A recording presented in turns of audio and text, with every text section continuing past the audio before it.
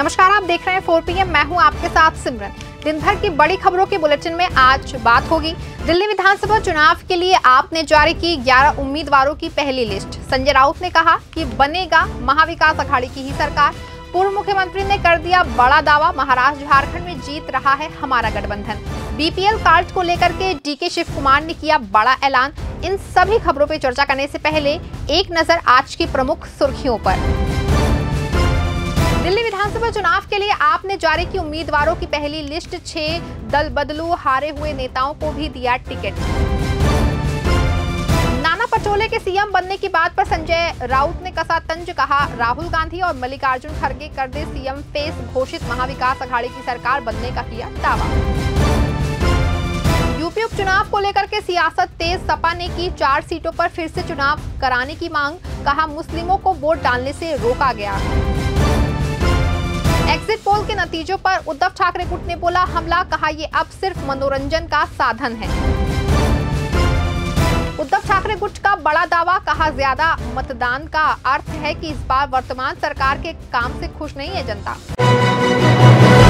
Shiv Sena UBT के सांसद संजय राउत ने एग्जिट पोल पर अपनी प्रतिक्रिया देते हुए कहा कि लोकतंत्र में जो मतदान होता है, वो गुप्त होता है। विधानसभा चुनावों के लिए महाराष्ट्र में मतदान हो चुका है और जनता ने अपना फैसला ईवीएम में कैद कर दिया है, जिसका पता तेईस नवंबर को नतीजों के दिन चल जाएगा।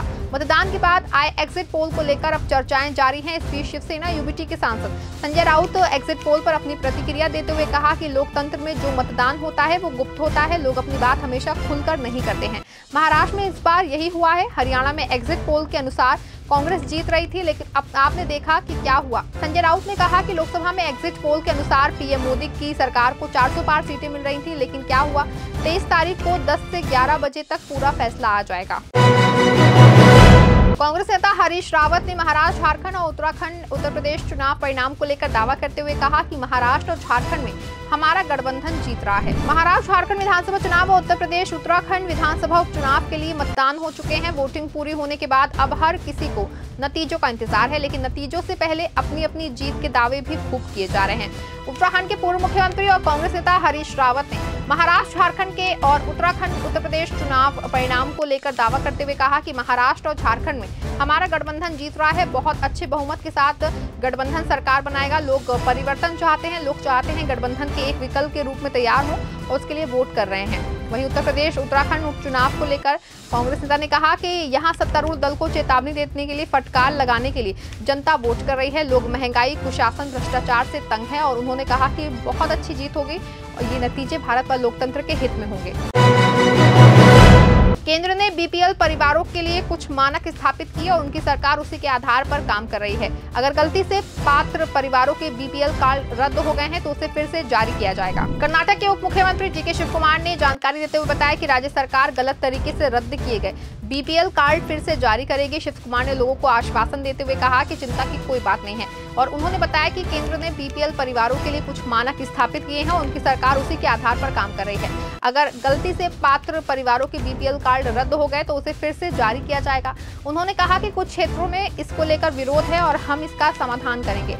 आयोग के अभ्यर्थियों को हटाने की समीक्षा जारी है। शिव कुमार ने जब पूछा गया कि बीपीएल लड़ाई रद्द करने के दौरान भौतिक सत्यापन क्यों नहीं किया गया? तब उन्होंने कहा कि त्रुटियों को सुधारने के लिए सुधारात्मक उपाय लागू किए जाएँगे। आगे उन्होंने कहा कि मुख्यमंत्री ने संबंधित मंत्री को निर्देश दिया है। आम आदमी पार्टी ने दिल्ली विधानसभा चुनाव के लिए उम्मीदवारों की पहली लिस्ट जारी कर दी है। पार्टी की पहली सूची में 11 उम्मीदवारों का नाम है। महाराष्ट्र और झारखंड के विधानसभा चुनाव के लिए मतदान संपन्न हो गए हैं और अब बस नतीजों का इंतज़ार है। इसी के साथ आपको बता दें कि आगामी विधानसभा चुनाव को लेकर पार्टियों ने अपनी कमर कसती है। इसी बीच जो है वो आम आदमी पार्टी ने दिल्ली विधानसभा चुनाव के लिए उम्मीदवारों की पहली लिस्ट जारी कर दी है। पार्टी की पहली सूची में ग्यारह उम्मीदवारों का नाम है। इसमें अनिल झा, वीर सिंह, धिंगान और सोमेश शौकीन का नाम भी शामिल है। ये हाल ही में आप में शामिल हुए हैं।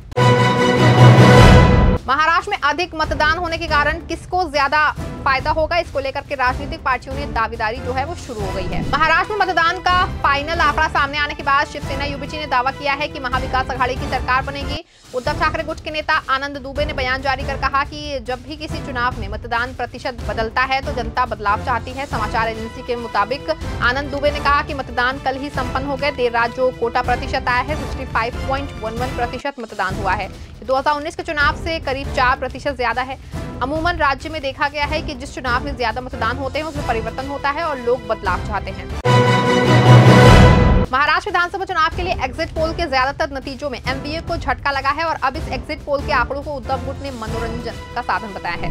महाराष्ट्र विधानसभा चुनाव के नतीजे 23 नवंबर को घोषित होंगे, लेकिन उससे पहले एग्जिट पोल के नतीजों में महाराष्ट्र में एक बार फिर महायुति की सरकार की वापसी हो सकती है। वहीं एग्जिट पोल के इन आंकड़ों को शिवसेना उद्धव गुट ने महज मनोरंजन का साधन बताया है। शिवसेना यूबीटी नेता आनंद दुबे ने कहा कि एग्जिट पोल मनोरंजन का माध्यम बन गए हैं। हरियाणा, छत्तीसगढ़ और मध्य प्रदेश में कहा गया है कि कांग्रेस सरकार बनाएगी।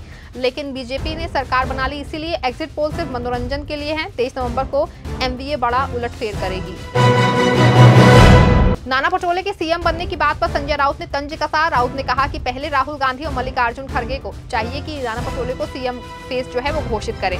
राउत ने महाराष्ट्र में महाविकास अघाड़ी की सरकार बनाने का दावा किया है। महाराष्ट्र में एग्जिट पोल और सरकार गठन को लेकर उद्धव ठाकरे गुट ने बड़ा ऐलान किया है। शिवसेना यूबीटी के प्रवक्ता संजय राउत ने दावा किया है कि सरकार महाविकास अघाड़ी की बनेगी। और उन्होंने कहा कि गठबंधन को कम से कम 160 सीटें आ रही हैं। राउत ने एग्जिट पोल पर भी सवाल उठाए। नाना पटोले के सीएम बनने के बयान पर भी राउत ने तंज कसा। राउत से जब सवाल पूछा गया कि आखिर कांग्रेस हाईकमान पटोले को सीएम चेहरा घोषित क्यों नहीं कर रहा है, जब तक वे लोग नहीं करेंगे, तब तक कैसे पता चलेगा की नाना पटोले सीएम बन गए हैं? संजय राउत ने कहा की हमारा नंबर कम नहीं होगा। आप जो बात कर रहे हैं, छोटे दल, हम और हमारे साथी सभी साथी हैं जो छोटी छोटी पार्टियों के साथ हैं। तेईस नवंबर को 11 बजे तक का पूरा फैसला आ जाएगा। हम 160 से 165 सीट जीतने जा रहे हैं।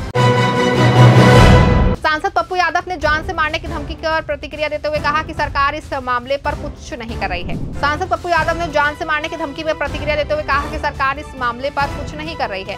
वहाँ एक महासचिव और कुछ अधिकारी थे जिन्होंने मुझे रोकने की कोशिश की। मेरे पास उनके ऑडियो टेप हैं। कुछ अधिकारी अस्पताल घोटाले के मामले में शामिल थे, जिसे मैं संसद में उठाऊँगा। कुछ अधिकारी मुझे सच बोलने से रोकना चाहते हैं। कुछ और लोग हैं जो मेरी आवाज़ उठाने पर मुझे मारना चाहते हैं। मैंने सारी रिपोर्ट दे दी है, लेकिन सरकार धमकी के मामले पर कुछ नहीं कर रही है। इस भोजन विधान बस इतना ही। आप देखते रहे, फोर पी धन्यवाद।